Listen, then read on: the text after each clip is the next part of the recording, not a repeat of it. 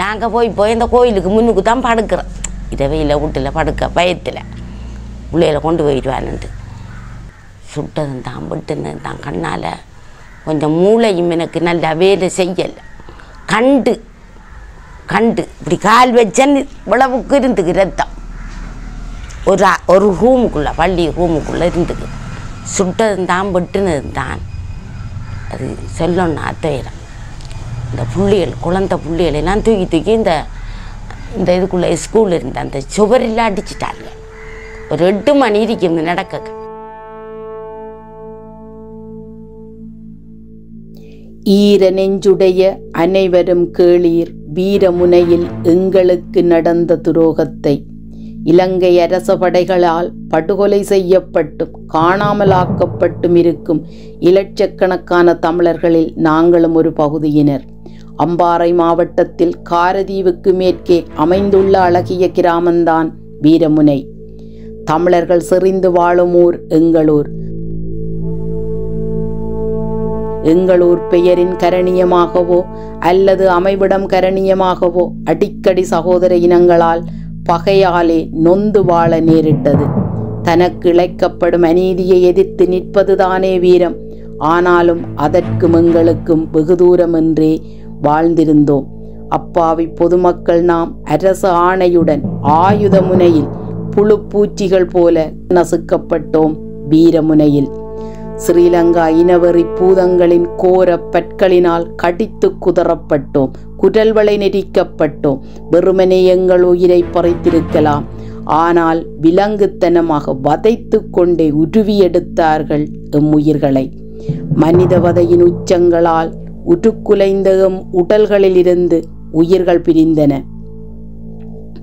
எங்களை களைந்து எடுத்து வரிசையாக நிற்க வைத்து தாய் தந்தை கூட பிறந்தவர்கள் முன்னிலையில் எங்களை கதற கதற பலியாடுகள் போல் இழுத்துச் செல்லும் போது அதுவும் அடியுதையுடன் நாம் வேதனையில் துடிப்பதும் அதை பார்க்க நேர்ந்தும் தடுக்க முடியாத கையாலாகாத்தனத்தோடு கண்ணீருடன் தலையில் அடித்து அழுதபடியமை வழியனுப்பி வைத்த காட்சி கொடுமையானவை.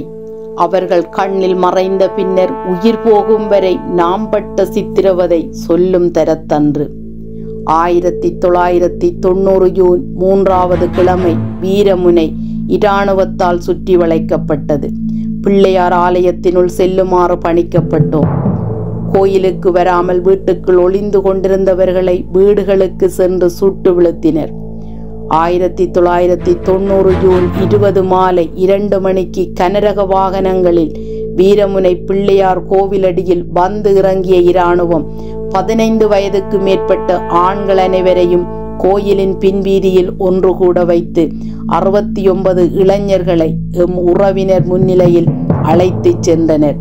பாவம் பெற்றதுகள் பரிதவிக்க எமை பறித்தெடுத்து சென்றனர். தம்பி தம்பி என்று அக்காமார் அழுது துடித்தனர். அண்ணா அண்ணா என்று தங்கைமார் கைகளை உதறி ஓலமிட்ட ஓசைகள். மாஜன் பள்ளிக்கூடத்தில் உயிருடன் எமை எடிக்கும் வரை எங் காதுகளில் ஒலித்து கொண்டே இருந்தது. அதில் ஐம்பது பேர் கடுமையான சித்திரவதைகளின் பின் எரித்து கொல்லப்பட்டோம். மீண்டும் இருபத்தி ஒன்பதாம் நாள். அதே பிள்ளையார் கோவிலுக்கு சென்று பலரை கைது செய்து இராணுவ முகாமுக்கு அழைத்துச் சென்று அவ்வளவு பேரையும் கொண்டனர் யாரும் திரும்பி போகவில்லை ஊருக்கு.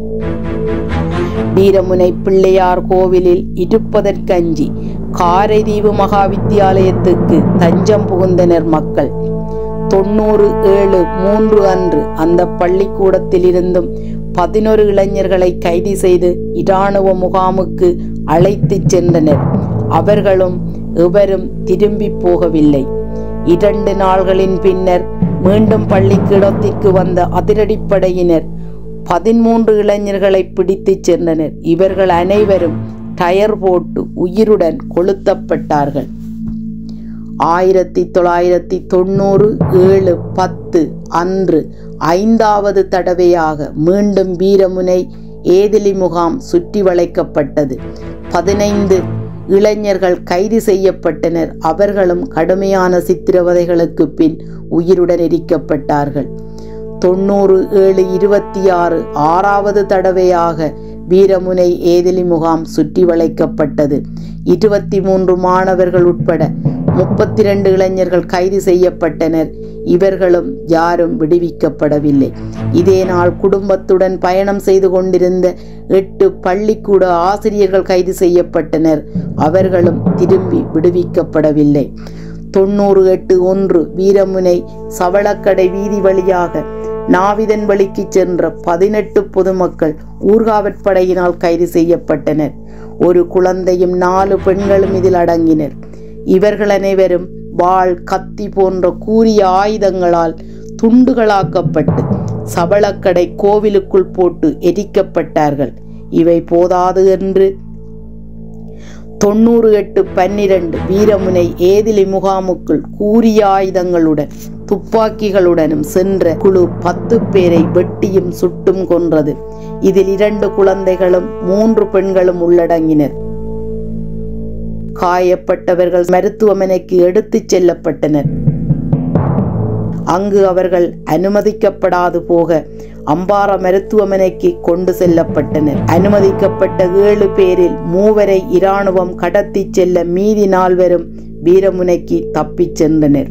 இப்படியாக ஆயிரத்தி தொள்ளாயிரத்தி தொண்ணூறு ஜூன் இருபது தொடக்கம் ஆயிரத்தி தொள்ளாயிரத்தி தொண்ணூறு ஆகஸ்ட் பதினஞ்சு வரை வீரமுனை காரதீவு மல்லிகைத்தீவு நியூ டவுன் கணவதிபுரம் பலத்தாப்பட்டி போன்ற இடங்களில் இருநூறுக்கும் மேற்பட்டோர் கொல்லப்பட்டும் எண்ணுக்கணக்கற்றோர் காணாமலாக்கப்பட்டும் இரண்டாயிரம் வீடுகள் சாம்பலாக்கப்பட்டும் சீரழிக்கப்பட்டது.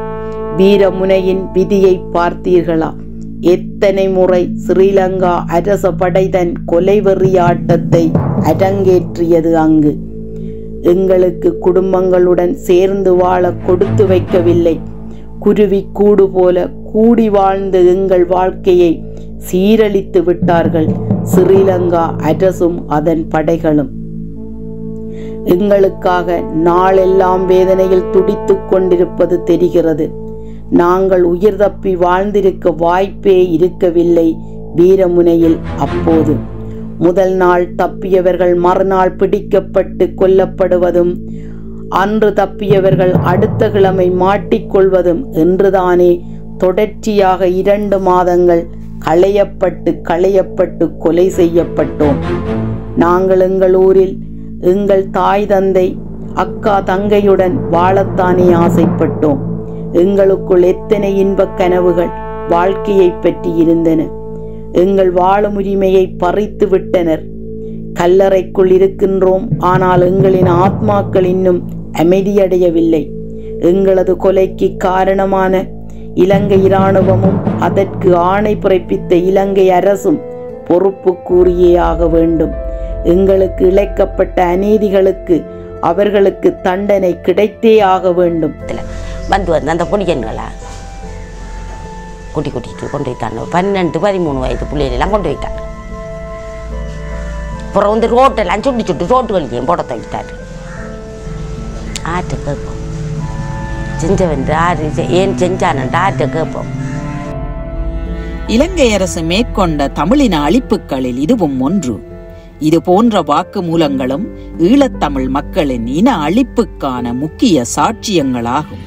மற்றும் ஸ்ரீலங்கா அரசு தமிழ் மக்கள் மேல் மேற்கொண்ட ஆட்கடத்தல் கொலைகள் கொள்ளைகள் பொருளாதார தடைகள் இடம்பெயர்வுகள் மனித குலத்திற்கு எதிரான ஆக்கிரமிப்புகள் அத்துமீறல்களில் நீங்கள் தனித்தனியாகவோ குழுக்களாகவோ பாதிக்கப்பட்டிருந்தால் உங்கள் ஆதாரங்களை கீழ்காணும் முகவரிகளுடன் தொடர்பு கொண்டு உங்கள் வாக்குமூலங்களை பதிவு செய்யுங்கள். விடுதலைக்கான பாதையில் வித்திடுங்கள் உங்கள் சாட்சியங்களை. இது மக்கள் போராட்டம். மக்களே ஆயுதங்கள். மக்கள் போராட்டம். வெடிக்கட்டும்.